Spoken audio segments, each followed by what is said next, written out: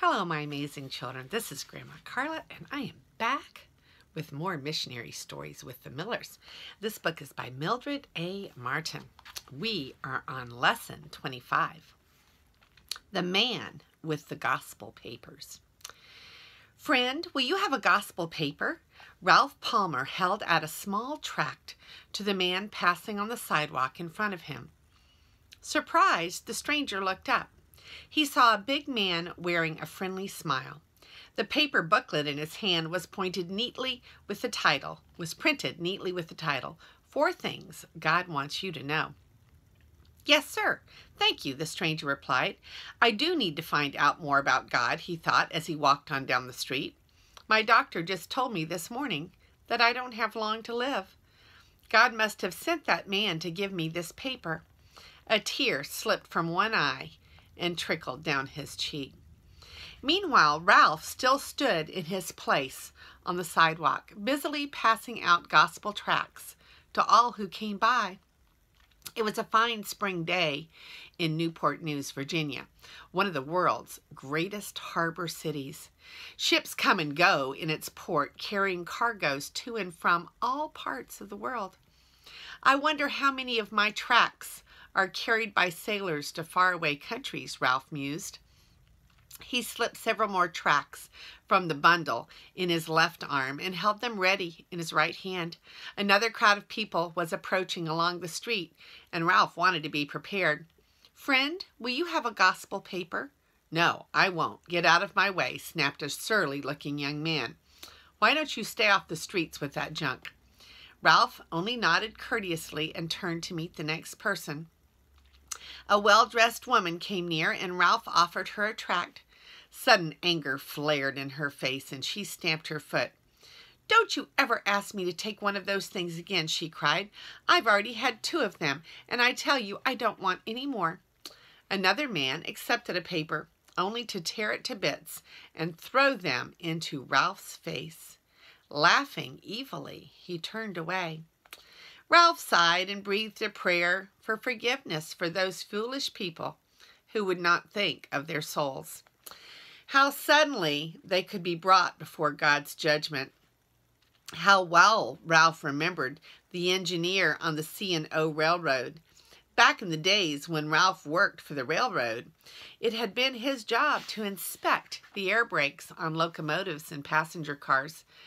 Late one night, after he had finished inspecting an extra long train, Ralph climbed up into the locomotive and spoke to the engineer. After exchanging a, a, few friendly words, Ralph handed him a couple of tracts. You give me some of these little papers every time you see me, don't you? The engineer laughed as he stuffed the tracts into his shirt pocket. The whistle blew, and Ralph swung out of the cab. That train was headed for Richmond and made good time.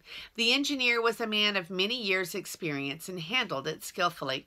He slowed down at the proper time as they neared curves on the track and opened the throttle on long straight stretches. All at once, though, his firemen began to notice that the train was not slowing down as it should.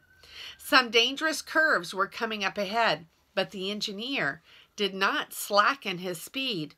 Aren't you going too fast, sir? the fireman shouted. There was no answer. The engineer was sitting straight up with his head bent forward, apparently watching the track. Had he fallen asleep at the throttle?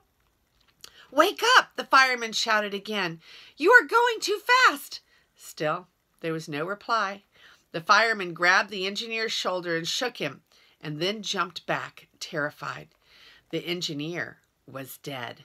His lifeless body slumped over and fell to the floor. The fireman threw a brake lever and stopped the train. Other crew members climbed into the cab and helped him drive slowly into the next station. A doctor was called, but it was too late. The engineer's heart had stopped beating, and he had gone suddenly to face the judgment with Ralph's tracks still unread in his shirt pocket. Now Ralph bowed his head as he stood on the sidewalk. Help me, Lord, to reach more people with your message before it's too late. He prayed, another handful of tracts ready. He stepped forward as more people came out from the nearby store. Friend, won't you have a gospel paper? He asked politely. Two little black girls with freshly braided hair came walking along hand in hand. The older one took a tract and said, Mister, can you give me some money to help? Can we give you some money to help you buy the tracts you pass out? Mother said we may give you something. Why, that would be very nice if you want to help pay for the tracts. Ralph smiled at the children. After feeling around in her purse, the little girl held out two nickels. Thank you, girls, and God bless you, Ralph told them as they skipped happily away. Here comes a police captain, Ralph said to himself a few minutes later. I wonder what he wants. The officer approached Ralph and held out his hand with a friendly smile. I suppose you are Mr. Palmer, he said. At Ralph's reply, he went on. One of my secretaries brought me a tract with your name and address on the back. I came by to tell you we are glad for your work in our town. The whole police force appreciates what you're doing, Mr. Palmer. Ralph chuckled to himself after the policeman had gone on down the street. He was remembering another town where the police had actually arrested him for passing out gospel tracts. There are a lot of adventures in my work for the Lord, Ralph thought. He remembered a day when he had stood in the freezing wind on the corner of Granby Street in Norfolk. It was the 23rd of December. Shoppers were crowding the streets and the sidewalks, hurrying to get all their Christmas buying done. Ralph's hands moved constantly in the cold air as he held out little tracts to people rushing by. From morning until supper time, Ralph worked, passing out about 9,000 gospel papers. But as the day wore on, he began to get discouraged. So many people took the papers only to drop them underfoot in the street as soon as they walked by. The sidewalks around him were littered with hundreds of wasted tracts. The men and the women of Norfolk were not interested in God's message of salvation. Why not just give up? It was late when Ralph reached home, tired and cold and hungry. I'm never going to Norfolk again, he announced to his wife. Those people aren't interested, so I may as well not waste any more time and money on tracks for them.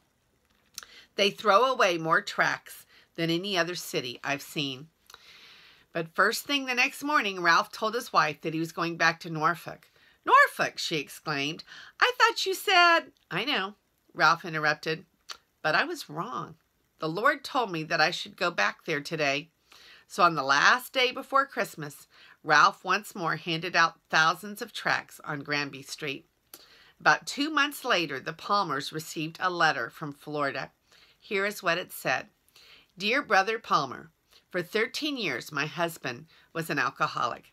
Many times I had to take our three children and flee from his threats. I had prayed for him so long. Last Christmas he left us and went to Norfolk, Virginia to visit his buddy who also drinks. As they walked down Granby Street toward a little liquor store on the night before Christmas, a man handed them two gospel tracts. They put them in their pockets, and when my husband got to his friend's house, he began to read. For the first time in his life, he saw what was wrong with him and who his enemy was.